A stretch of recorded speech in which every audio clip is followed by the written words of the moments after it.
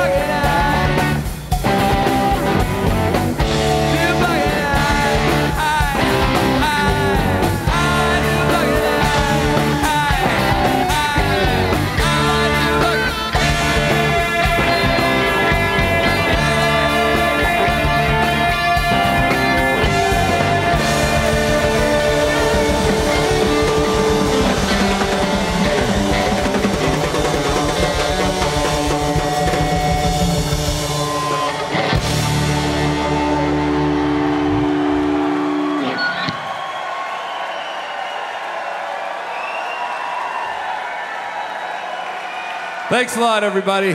Thank you. Good night.